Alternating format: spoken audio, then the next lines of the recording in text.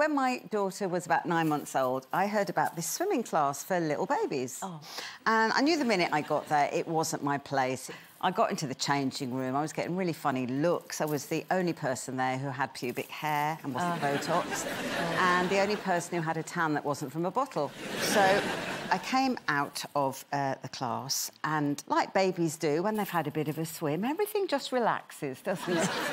so my nine-month-old decided to let forth a tsunami of poo.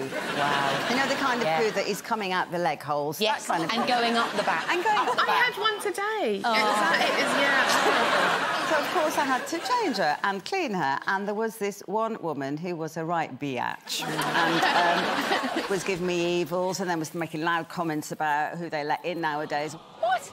Yeah, she was vile. So I didn't say anything. I just cleared my daughter up, which took quite a long time, and Yeah. managed to get this whole huge runny poo into one bulgy nappy bag. And Biatch went off for a, a shower, and she left her locker open. Oh, Meera. Meera Syal. You didn't. You didn't. She did.